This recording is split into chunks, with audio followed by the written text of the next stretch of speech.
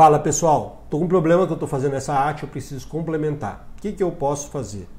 É um problema que muitas vezes acontece no dia a dia. Essa é uma arte de férias, tá? Tá chegando aí no nosso curso de férias, aí fica o convite para vocês também. Eu vou selecionar essa área e vou fazer o seguinte, vou dar um Ctrl Alt Shift E. Ele faz uma mesclagem, tá? Ele sintetiza tudo isso como se fosse um JPG de uma imagem, só para mostrar para vocês. Então eu fiz uma cópia disso tudo em uma camada aqui.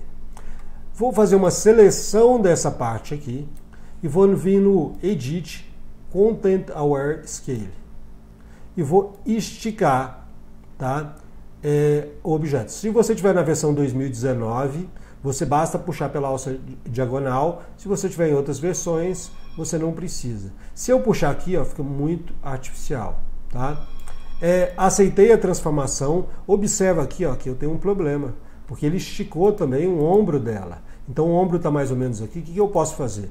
Poderia usar uma máscara, mas eu vou pegar uma borracha. Simplesmente eu vou conseguir atenuar esse problema aqui. Gente, eu não vou entrar em, em detalhes, mas o que eu poderia fazer para melhorar, porque ainda tem algumas falhas. Por quê? Porque senão vai ficar muito extenso. A ideia é que seja um tutorial rápido.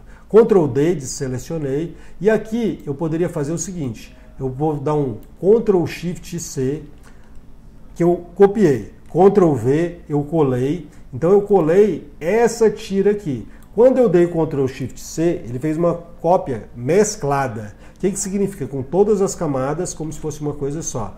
Ctrl T, botão direito, flip horizontal. E aqui, gente, eu termino de encaixar.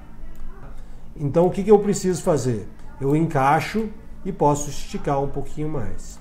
Aqui, mais uma vez, existem recursos mais sofisticados, mas eu estou mostrando o básico do básico. Vou pegar a ferramenta brush, vou apagar aqui, ó.